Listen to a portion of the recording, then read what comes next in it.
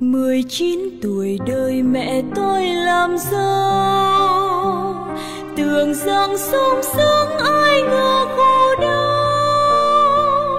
Cha tôi ra trận còn xanh mái đầu. Ở nhà giàu cháu mẹ con nuôi nhau. Hai đứa con thơ mẹ tôi gánh nặng ra chiến trường mãi mãi không về.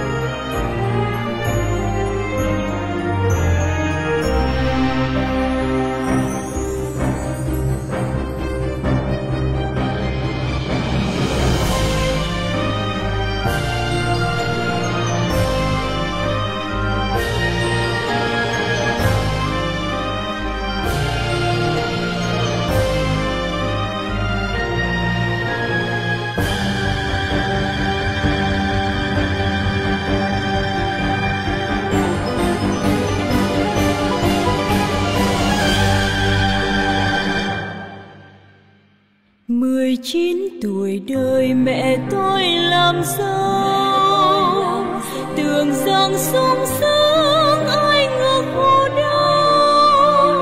Cha tôi ra trận, còn xanh mái đầu ở nhà giàu cháu mẹ con nuôi nhau.